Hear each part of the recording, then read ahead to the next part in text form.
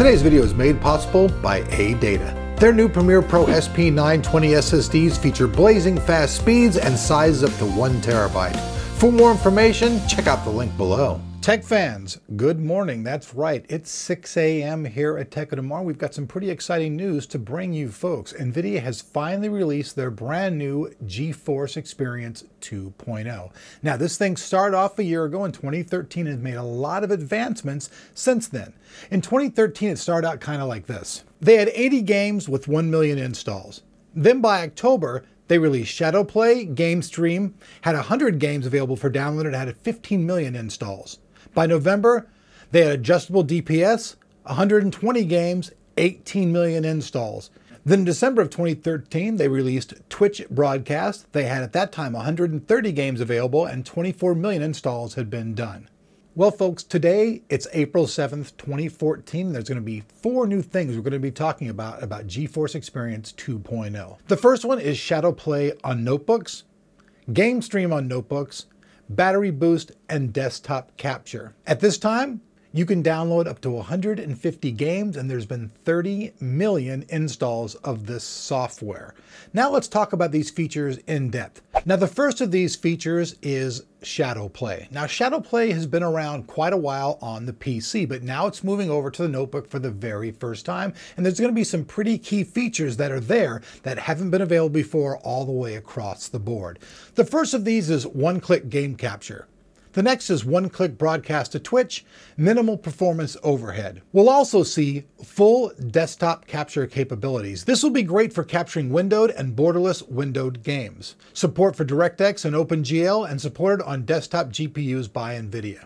There's even more. Now you get custom encoding with custom output resolution, custom bitrate and frame rate, auto pause on Alt Tab, broadcast 720p at 60 frames per second, and auto game naming. Next up is GameStream. Now, GameStream is going to be really cool because basically what you're going to be able to do now is take your shield and go anywhere you want, to a friend's house, to the, you know, anywhere basically where they have access to a PC, Xbox, or any of that type of stuff, you'll be able to automatically stream your games and play them off of your shield. Now, this is going to be pretty cool stuff. I'm going to hand that over to Captain Kevin next week and let him bring you guys a full demo of that stuff, and that's going to be really, really interesting. Currently, this is in its beta format. Results will have to be seen as we start doing the testing and see how it goes, so make sure you look out for that as well. Now, next up is battery performance. This is a battery boost, and let's talk a little bit about that as well. NVIDIA's battery boost will be completely automatic, running in the background of your system, and it'll give you up to two times longer gaming. So what this means, folks, is for those of you out there who have a laptop and you're always doing laptop gaming, now this thing's going to go in, it's going to make sure it creates the settings that best create the longest lifetime for your gaming. So if it can shut something off in the background that you're not using or something like that, it's going to automatically do it so that you get the absolute longest gaming life possible.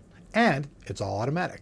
All right, folks, so there you guys have it early in the morning on April 7th here, 2014. For you people who are watching, hey, thanks for being here. GeForce Experience 2.0, it is here, it is real. You can download it and install it on your computer. So for those folks out there who are NVIDIA fans, you've got something to look forward to today. All kinds of new stuff. And if you're a laptop guy, Come on, you're in. GeForce Experience was all about you now, as you guys can see, because basically the new 2.0 is geared a lot towards the notebook and for those people who are always on the go with that kind of stuff.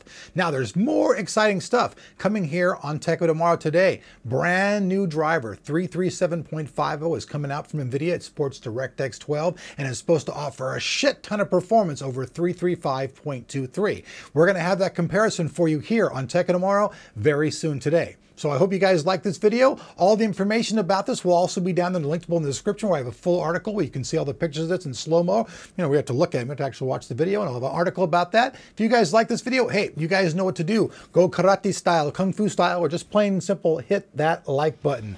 If not, hey, I'm sorry, but I'm glad you guys are here anyways. I gotta have another cup of coffee to stay awake and bring you the next video. So stay tuned to Tech Tomorrow. If you're not subbed, you know what to do.